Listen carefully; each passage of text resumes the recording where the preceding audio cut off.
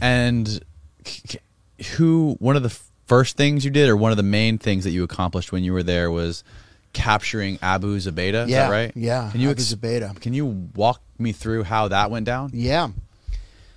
Yeah, it's it's a story. It became the defining event of not just my career really. It became the defining event of my life. And I'm not overstating that. So I get to Pakistan January of 2002, and my very first day, uh, the station chief says, "I want you to come up with a standard operating procedure for taking down an Al Qaeda safe house." He said, "We're just not doing it." I said, "Sure." So I went back to my office, and I, I sat there with a with a legal pad, and I was thinking, "All right, so if I'm if I'm going to take down an Al Qaeda safe house, how would I do that?" And I thought, well, I'd I'd want it to be dark, right? And I wrote O200 at the top of the page. I mean, in Pakistan, as many people as they have there, they just roll the sidewalks up at night. It's it's like a ghost town, the whole Wow. country at, at night. So um, I thought, uh, I'm going to need, I'm going to need partners. I mean, you got to invite the Pakistanis because it's their country. You know, you have to. I don't, I don't mean to sound crass, but you have to allow them to believe that they're in charge. You know, even if they're not. That's a see a, a spy tactic, Yeah, right? yeah, yeah. Make it all. Make them think that it's all their idea. And um, and 9/11 was an open criminal investigation, so you have to invite the FBI. As awful as that is, but I mean, I would rather work with the Pakistanis than the FBI any day. Morons. So uh, so I wrote, you know, teams. You had two Pakistanis, two CIA, two FBI, and I would need a bunch of stuff. So I need like battering rams and guns and ammo and night vision goggles and bulletproof vests, and I made this whole laundry list of stuff. So I sent a cable to headquarters and I said, um, "Can you give me fifty thousand dollars seed money and I'll start buying this stuff?" So, boom. Six hours later, I had fifty thousand dollars. Money, believe me, was no problem. I mean, vast amounts of money. We have a lot of time. I can tell you some fun stories. so I went online, galls.com. It's a police supply house in Kentucky. Uh, and I ordered everything I needed. I ordered the bulletproof vests and battering rams and guns and ammunition and the night vision goggles and walkie talkies and a satellite dish. And I ordered everything. I spent the whole 50 grand.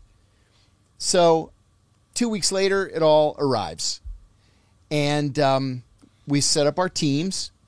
And uh, I got a tip that there was this Al Qaeda safe house. Here's the address. So I called the Pakistani uh, colonel that I was. He was my normal contact, and I said, um, Colonel Mohammed, uh, let's let's hit this house tonight. I've been telling him, look, you know, I'm waiting for this equipment to come, and of course we're gonna leave it all here as a gift for you and your brave men, and you know, you know what I'm talking about. Yeah, you have to sort of talk them up. So I called him and I said, "Okay, the stuff's in. I got this tip. Let's hit this this address two o'clock in the morning." And he's like, "Okay." So I get two FBI people, one of whom is totally awesome, and we still stay in touch. The other was an ongoing problem for all of us at the CIA. CIA and the FBI hate each other, Right. And they have since the founding of the CIA, and we still hate each other. So, um, 0200, we sneak up to the door of this house and we boom, we bashed the door in with a with a battering ram and there are these two kids, one was 18 and one was 19. They put their hands up and then they burst into tears, both of them. One of them's crying, I'm cuffing him. And he's like, uh, "Can I call my mother? Uh, she's going to be so worried about me." And I said to this buddy of mine, I said, "This is Al Qaeda? This is what we've been so afraid of? They're children." So I was like, "No, you're not going to fucking call your mother. You're going to to uh, jail." We took them to the Rawalpindi jail How did you know for sure they were Al Qaeda? because I said so. Because you said so. You know, I, I'm being facetious, Uh-huh. of course. Um, the the rule that we came up with was if you're an Arab in Pakistan with no passport and no plausible explanation for what you're doing there, you're Al Qaeda. right? Arabs can't get visas to Pakistan unless they're Saudi, Kuwaiti, Emirati, and have lots of money to spend. So if you're just some kid from some village in Tunisia, hmm. you shouldn't be in Pakistan. One of them went so far as to tell me, not not one of these two kids, but a guy later on, that he was there to study Arabic. And I said, Arabic. You know, of course, that they don't speak Arabic in this country. And he just looks at me.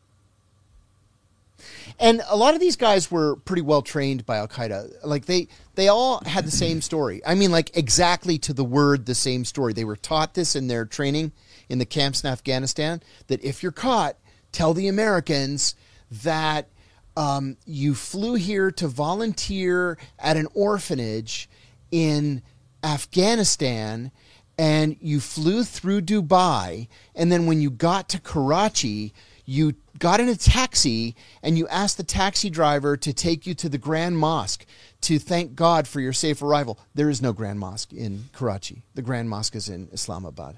Wow. They don't know that. Um, and then you accidentally left your passport in the taxi, so you lost your passport. That's why you don't have it. And so you're waiting for your embassy to give you a new passport. And then when the Americans started bombing, you got scared. So you had to, I mean, like a hundred different guys told me exactly the same story. And none of it, none of it added up. So we started putting him at the Rawalpindi jail. And then after a while, uh, one of the Pakistanis came to me and said, Listen, the jail's full. We, we don't know what to do with these guys. And we don't want them here in our country. And he says, I know you don't want to send them back to their country because they hadn't been interrogated. We didn't know, are they. Are they just you know kids who took up the fight because they had nothing better to do? Are they masterminds. We caught Bin Laden's computer guy. We caught Bin Laden's um, mechanic. We got Bin Laden's cook. We got Bin Laden's doctor. So they've got information that we're going to want. So I, I cabled headquarters and I said, the jail's full and the Paks want them out. So what do I do with them? And I get this cable back saying, put them on a C 12 and send them to Guantanamo. And I wrote back and I said, Guantanamo, Cuba? Like, why would I send them to Cuba?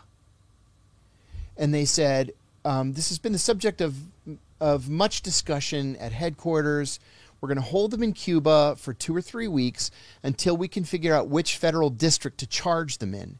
Because crimes were committed in the in the D.C. area in the Eastern District of Virginia. That's where the Pentagon's based, um, and, and Dulles Airport. In the Eastern District of Massachusetts, because one of the planes took off from Boston, and the uh, Southern and Eastern districts of New York. So there are four federal districts we can charge them with terrorism in. Okay. And I said, "Ah, that's a great idea. Just hold them in Cuba for two or three weeks. And then once we started sending them to Cuba, somebody on Dick Cheney's staff said, you know what?